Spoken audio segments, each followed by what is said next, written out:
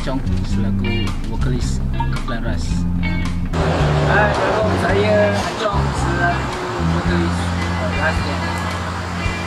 Uh, perasaan saya sangat teruja dan gembira sekali kerana band ni masih lagi hidup setelah 13 tahun berdiam hari ni dan uh, saya gembira first kali saya rasa uh, sangat teruja teruja dan ada juga uh, uh, something yang rasa satu harapan yang ada di hadapan. So saya rasa benda ni uh, tak boleh dilepaskan dan saya akan teruskan juga dengan band insyaAllah. Uh, pandangan saya pada kumpulan RAS ni sendiri uh, saya rasa uh, kumpulan ni ada uh, dia punya special yang tersendiri dari segi material uh, dan uh, dari segi uh, permainan muzik. Dan uh, komitmen saya insyaallah saya akan berikan uh, 100% untuk uh, realisasikan apa yang kita plan yang akan datang. Insyaallah. Harapan saya pada band rasmi yang uh, tahun 2020 agar membuahkan hasil dan membuahkan material-material yang berkualiti. Harapan saya sangat besar terhadap uh, projek band ni.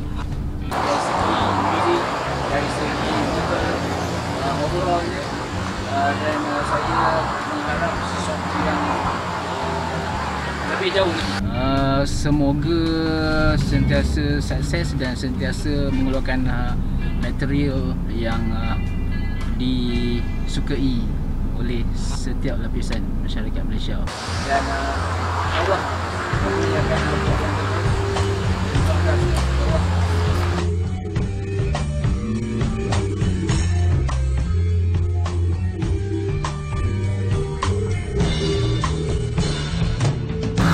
Assalamualaikum warahmatullahi wabarakatuh.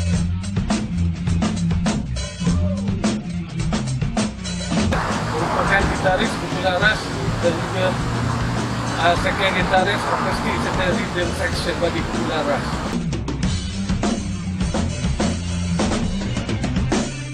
Uh, secara tak langsung aku terlibat dalam keseluruhan lagu dan Aras dan juga ada juga muzik secara asalnya sebelum dikembangkan oleh band-band yang lain.